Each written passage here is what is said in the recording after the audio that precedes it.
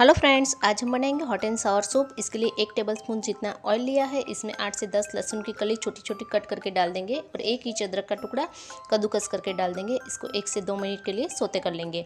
अब इसमें थोड़ा सा कटा हुआ प्याज डाल देंगे थोड़ा सा गाजर थोड़ा सा कैप्सिकम और थोड़ी सी पत्ता गोभी डाल देंगे। अब इसमें डेढ़ चम्मच जितना नमक डाल देंगे और नमक डालने के बाद इसको सभी सब्ज़ी को दो से तीन मिनट के लिए ऐसे सोते कर लेंगे और उसके बाद यहाँ पे आधी चम्मच जितना ब्लैक पेपर पाउडर डाल देंगे और ढाई कप जितना पानी डाल के अब इसमें एक चम्मच जितना सोया सॉस डाल देंगे और एक चम्मच जितना रेड चिली सॉस डाल देंगे। अब इसको तीन से चार मिनट के लिए उबलने देंगे। तब तक के लिए यहाँ पे मैंने दो चम्मच जितना कॉर्नफ्लोर लिया है, इसमें तीन से चार चम्मच जितना पानी डाल के स्लरी बना ली है। अब इसमें चार से पाँच चम्मच जितनी कॉर्नफ्लोर की स्लरी डाल देंगे। अब सूप को दो से तीन मिनट के लिए उबलने देंगे। लास्ट में थोड़ा सा नींबू का रस और कटा हुआ ऐसे हरा वाला प्याज डाल देंगे। तो यहाँ पे सूप जो है रेडी